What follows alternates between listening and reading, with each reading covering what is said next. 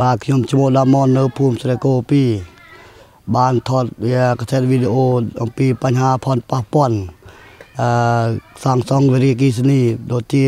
ផ្ទះសំបែងដូចជាសាលារៀនវត្តអារាមដែលប៉ះពាល់ដូចជាដើមចេកដើមដូងអឺស្រែដូចចំការដូចណាគឺខ្ញុំឈ្មោះបេងតេងជាតុបទី1នៅឃុំត្រែកោដើម្បីធ្វើប័ណ្ណបង្ហាញពីស្ថានភាព និងការប៉ះពាល់ពីទំនប់សេសាន2របស់យើងនៅក្នុងពេលឆាប់ឆាប់ៗនេះ តែធ្វើម៉េចក៏ខ្ញុំមានអាការព្រួយបារម្ភខ្លាំងចំពោះការសាកសពទំនប់នេះព្រោះវាមានការប៉ះពាល់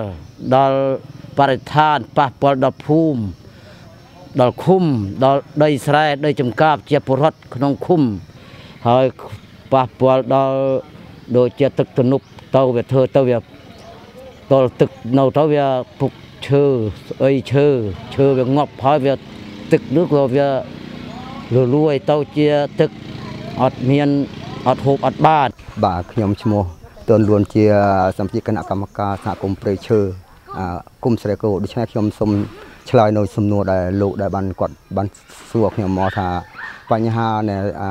លើកទំនប់អាវិរិយអគិសនីនេះគឺខ្ញុំផ្ទាល់ក៏ដូចជាប្រជាពលរដ្ឋក្នុងឃុំស្រែគោទាំងមូលដែរដូច្នេះមានការព្រួយបារម្ភក្នុងការសាងសង់អាទំនប់វិរិយអគិសនីនេះទីមួយគឺប្រជាពលរដ្ឋក្នុងឃុំរបស់ខ្ញុំក៏ដូចជាខ្ញុំផ្ទាល់ដែរមិនចង់ចាក់ចេញពីភូមិឋានរបស់ខ្លួនទេព្រោះមានការលំបាកបាទទី1ទី2ទៀតអាបញ្ហាអាផ្ទះសំបែង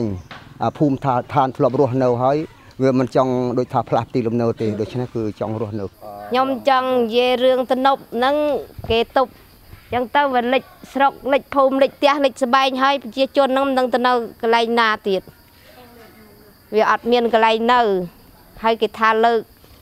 ទៅនៅត្រោយមកខាងឯណានេះនៅលើទួលលើគោក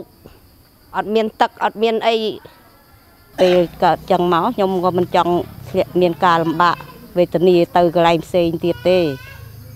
ខ្ញុំចង់រស់នៅនៅកន្លែងភូមិកំណើតភូមិតដែលហ្នឹងហើយនេះហើយខ្ញុំសំណុំពោមិនចង់ឲ្យកើតទេខ្លាចមានការលំបាកខ្ញុំទៅថ្ងៃមុខទៀតហ្នឹងខ្ញុំបើរើភូមិលើសុកទៅនេះទៅឆ្ងាយទៅខ្ញុំវាពិបាកណាស់ក្នុងចិត្តខ្ញុំបាទប្រទេសសំបែងខ្ញុំមានហើយដោយស្រែដោយចំការខ្ញុំមានហើយខ្ញុំទៅរើរោថ្មីទៀតខ្ញុំមិនចង់ទៅទេញើ តែខ្ញុំថាអេមិនចង់ទៅទាំងអស់គ្នាហ្នឹងហើយខ្ញុំក៏មិនមែនថាខាត់ហាមរដ្ឋាភិបាលមកឲ្យធ្វើក៏អត់ហ៊ានខាត់ហាមដែរប៉ុន្តែសំណុំពោបើធ្វើសូមរដ្ឋាភិបាលសូមជំនួយសងប្រទេសអាតាមអាប្រទេសទូតប្រទេសធំប៉ុណ្ណឹងហើយដំណាំដាំដុះរបស់គេអាសូមសំណុំពោអញ្ចឹងហើយសំណុំពោហើយសំណុំពោទៀតក្នុងអា សុខភាព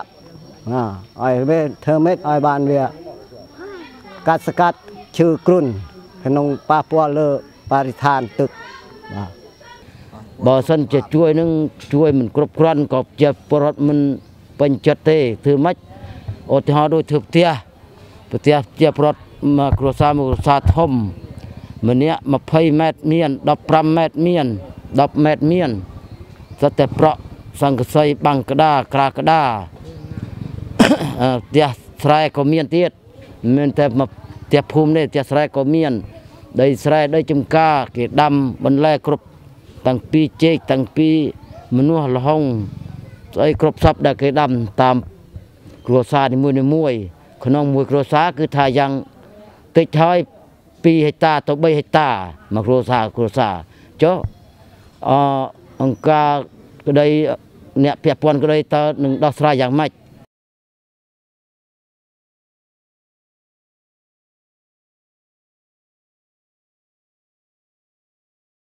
ខ្ញុំបាទឈ្មោះរាវធី ជាអ្នកកាន់ខ្សែវីដេអូសហគមន៍នាងខ្ញុំបាអើនាងខ្ញុំ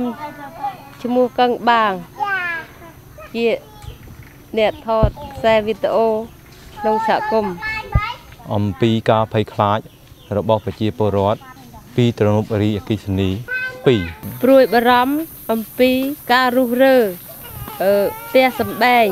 ឃគោក្របីជ្រូកមាន់ជួបការលំបាកនិងស្ថានភាពដីស្រែមន្ទីរពេទ្យសាលារៀននិងទន្លេស្រែពុកតគឺខ្ញុំឈ្មោះជឿមសុគា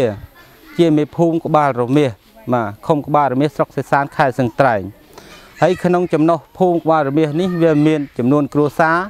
117គ្រួសារស្មើនឹងមនុស្ស597នាក់មកក្នុងនោះមានជនជាតិភ្នង97គ្រួសារណាអញ្ចឹងក្នុងនេះការព្រួយបារម្ភរបស់ប្រជាពលរដ្ឋបញ្ហាការសង់សង់ទំនប់វារីអគ្គិសនីអញ្ចឹងប្រជាពលរដ្ឋរបស់យើងខ្ញុំនៅតំបន់នេះគឺនៅងឿងឆ្ងល់ច្រើនណាស់ដោយសារម្ចាស់គម្រោង ពុំបានមកសិក្សាពីការហេតុផលពីការប៉ះពាល់អឺនៅភូមិតំបន់នេះអឺតើអ្នកមីងអោយគេធ្វើតំណប់វិរីអគិសនីឬទេមិនចង់ឲ្យទេព្រោះអ្វីខ្ញុំ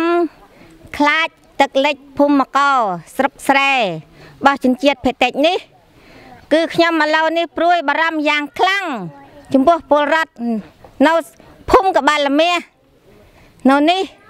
ព្រោះខ្ញុំខ្លាចចំពោះអឺកូនចៅតទៅមុខនោះនឹងនៅតែកន្លែងណាទីណាខ្ញុំព្រួយអារម្មណ៍ណាស់រឿងនេះខ្ញុំស្ដាយដីភ្លីខ្ញុំរឿងដាំដាំដាំដុះរបស់ខ្ញុំខ្ញុំមិនចូលទេខ្ញុំដាច់ខាតរួមរស់នេះជនជាតិភេតិចខ្ញុំចង់សាមគ្គីគ្នាខ្ញុំមិនចូលទេរឿងដីភ្លីរបស់ខ្ញុំខ្ញុំស្ដាយស្រែណាស់ ដៃជាដៃដំណាំខ្ញុំណាខ្ញុំនេះបើអូនខ្ញុំនៅកន្លែងណានឹងនៅគេណាណាមិនចង់ចោលទេព្រោះស្ដាយផ្ទះសំបែងរាប់លានហើយដងស្វាយមានទាំងអស់បើថានៅដីថ្មីថ្មីទីមានដងមានស្វាយណានឹងលក់ទៀតពីដែរបញ្ហាបើសិនជាគេសិក្សារកតំបន់ដីនោះខ្លាចថាដីនោះវាដាំអីមិនកើតព្រោះតំបន់កសិករ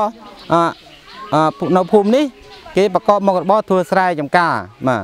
ខ្លាចលោតទៅប៉ះចំអាដីគ្រោះដីថ្មទៀតងាប់ហើយខ្ញុំថាងាប់ហ្មងហ្នឹងការព្រួយបារម្ភខ្លាំងដែរអស់ផ្ទះអស់សំបែងវត្តអារាមហើយនៅកន្លែងណាសាលារៀនអីអឺកូនកូនសិស្សទៀតនឹងបានទៅរៀនកន្លែងណា តាមចិត្តរបស់ខ្ញុំថាមិនចង់អោយទេប៉ុន្តែដោយសារលិចលង់ទឹកខូចខាតប៉ះពាល់ នៅតំណាំដាំដុះប្រទេសស្បែងកម្មលំបាកដីស្រែដីចំការមិនងាយគោះបានទេខ្ញុំចាស់ហើយមួយទៀតហើយត្រីសាច់នឹងតរយណានឹងហូបអីលុយកាក់ឯណាពីរទៀតរឿងការសំណងប្រទេសស្បែងវាមិនដល់ឯនេះតម្លៃពួករបស់ខ្ញុំទេទៅបីអាក្រក់ល្អប្រទេសពួកខ្ញុំ ខំធ្វើម្នាក់ម្នាក់អើយហត់នឿយព្រួយបារម្ភទី1ការលិចផ្ទះសំបែងទី2ទៀតលិចស្រែទី3ទៀតដំណាំដាំដុះរបស់យើងខ្ញុំហើយសូមអំពាវនាវដល់អង្គការនិងរដ្ឋាភិបាល ជួយដោះស្រាយឲ្យខ្ញុំរស់នៅរបៀបម៉េចហើយរើផ្ទះរើសំបែងទៅកន្លែងណា